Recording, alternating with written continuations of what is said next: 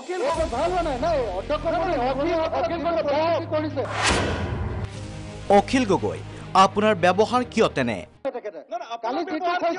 তাৰ কাৰণে দুখ প্ৰকাশ কৰা নাই নহয় আপোনাৰ ব্যৱহাৰ কিয় তেনেকুৱা আপুনি নাই, নাই। ভালদৰে কৰক না অখিল গগৈ আপোনাৰ শিষ্টাচাৰ কিয় তেনে। আপুনি তেখেতসকলক কওকচোন এবাৰ শিষ্টাচাৰ এইটো। শিষ্টাচাৰ শিককচোন। অখিল গগৈ মোৰ লগতো কাউণ্টাৰ কৰে। আপুনি মোৰ লগতো কাউণ্টাৰ কৰে আপুনি স্পীকাৰৰ লগতো। আসনৰ পৰা থিয় হোৱা অধ্যক্ষ বিশ্বজিৎ দৈমাৰীৰ সৈতে কাৰ্যত বাদানুবাদ অখিল গগৈৰ। বিধানসভাৰ চলিত অধিৱেশনৰ শুকুৰবাৰৰ দৃশ্য।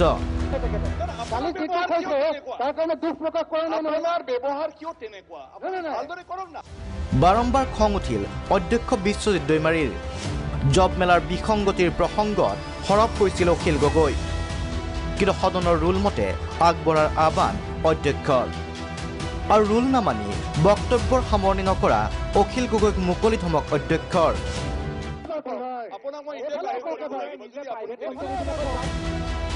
এনে ব্যৱহাৰ কৰিব নালাগে। ইয়াৰ পূৰ্বেও শুকুৰবাৰৰ দিনটোতে খং উঠিছিল বিশ্বজিৎ দৈমাৰী। বকৰ বিধায়ক নন্দিতা দাসকো নিয়ম নমনা বাবে ধমক অধ্যক্ষৰ। আপুনি বহকচোন সেইটো এজেণ্ডা সেইটো নহয় আপোনাৰ। আপুনি বহক। এতিয়া আপুনি বহকচোন আৰে হাউচত তেনেকুৱা আৰে মা দেউতাৰ পৰা পইচা পইচা খোজাৰ নিচিনা এনেকুৱা কৰিলেতো কেনেকৈ হ'ব হাউচত? বিধায়কে নাজানে নিয়ম এজেণ্ডা। বিৰক্ত অধ্যক্ষ। হাউচত তেনেকুৱা ধৰণৰ বিধায়ক আছে যিজনে হাউচৰ ৰুলৰ বিষয়ে নাজানে হাউচৰ মানে এজেণ্ডাৰ বিষয়ে নাজানে কিমান মোৰ কাৰণে দুখৰ কথা। বিৰক্তিবোধ অধ্যক্ষই অনুভৱ কৰিছিল শীতকালীন অধিৱেশনৰ প্ৰথম দিনটোৰ পৰাই। বিভাগীয় সৰু প্ৰশ্নৰো এবকলা উত্তৰ পাঠ কৰিবলগীয়া হৈছে মন্ত্ৰীয়ে। এক নম্বৰীয়া প্ৰশ্নৰ দহ নম্বৰীয়া উত্তৰ বিধানসভাত। কিন্তু আমাৰ উত্তৰবিলাক ডিপাৰ্টমেণ্টে যি সুধিছে তাতকৈ বেছি বেছি লিখি দিছে।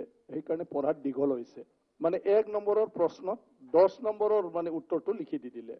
এনেই অযথা দীঘল উত্তৰ তাতে আকৌ ইজনৰ পাছত সিজন বিধায়কৰ নিয়মৰ বাহিৰত বক্তব্য ৰখাৰ চেষ্টা আৰু পৰিণতি শুকুৰবাৰৰ এই দৃশ্য। বিৰক্তিবোধত ধমক দি দি যেন ৰক্তচাপি বাঢ়িল অধ্যক্ষ দৈমাৰীৰ। Bureau report Prag news.